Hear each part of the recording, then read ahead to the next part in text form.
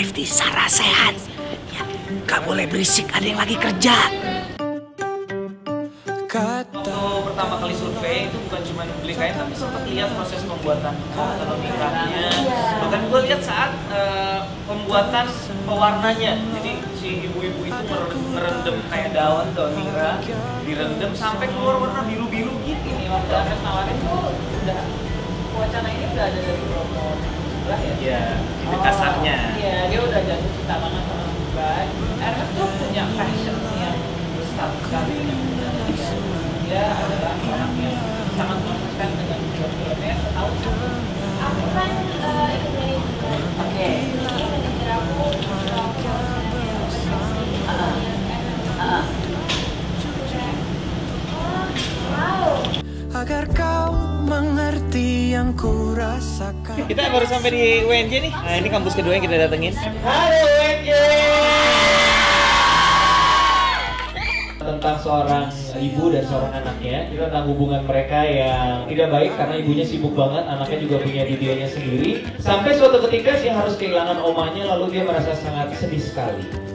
You know Nah, sebenarnya sih nggak nggak sengaja yang dari dulu nggak pernah punya mimpi jadi filmmaker. Cuma memang saya senang banget nonton film. Bikin film itu sesuatu yang proses yang menyenangkan banget. Kita bisa bercerita, cerita kita bisa didengar banyak orang. Sih, tapi kayak kayak dulunya aku mikirnya tuh kayaknya enggak, enggak bakal terjadi.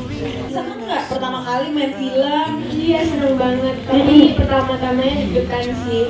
Aurora itu kan emang apa ya stage fright kali ya, kayak demam panggung gitu. Dia. Ini adalah wawancara tertalkatif dia selama ini. Biasanya kalau diwawancara gini, Cina kok disuruh ngapain pas waktu lagi casting stasiunnya acting. ini kemudian dia lagi dia lagi lagi memberanikan diri kayak gitu. Dia harus siap-siap. Can you imagine if sun didn't shine when you woke?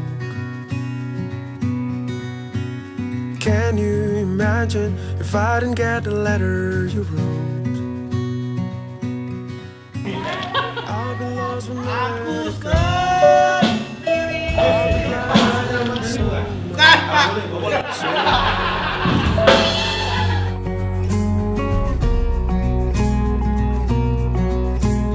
Ada beberapa orang di check up sebelah yang aku enjoy banget. Menurut aku nggak ada salahnya kalau diajak lagi. Yang penting adalah karakternya beda. Kayak sama nggak apa-apa, tapi karakter akan sangat jauh berbeda. dalam khususnya karakter saya uh, Coach Chandra dia seorang saya juga ya tapi dia kawin muda Aku jadi rekan kerjanya Ellen di kantor. Dia pengacara baru buka law firm. Kasus perdananya cukup high profile, perceraian selebritis. Ellen adalah seorang pengacara, partner kerjanya Iwan. Nah, mereka berdua akhirnya memutuskan untuk membuat firm law firm sendiri sekarang. Dan dua-duanya sebenarnya Iwannya udah nggak jadi associate lagi, udah jadi partner juga. After the dark. pengaruhnya besar banget dari cerita sebelah salah satunya adalah gue mencoba untuk untuk uh, mencoba mentackle tema yang berbeda. Memang sih ada banyak keputusan ini dasarnya atas keinginan gue untuk berkembang nggak mau di situ-situ aja. Maksudnya kan nggak sama Cetes tentang keluarga Chinese gitu. Justru suksesnya Cetes bikin gue parno orang gampang ngebanding-bandingin. Dan nanti perbandingan itu akan membuat gue semakin terbeban. Jadi kalau bikin sesuatu yang beda kan dibandinginnya agak lebih susah jadi seberapa pun penghargaan yang kita sudah terima sepanjang karirnya gitu kalau menurut gue sih lebih ke ya kita sebagai seniman mau berkembang itu satu. Kedua kita sebagai seniman juga mau memberi uh, penikmat seninya pilihan gitu atas apa yang mereka mau tonton.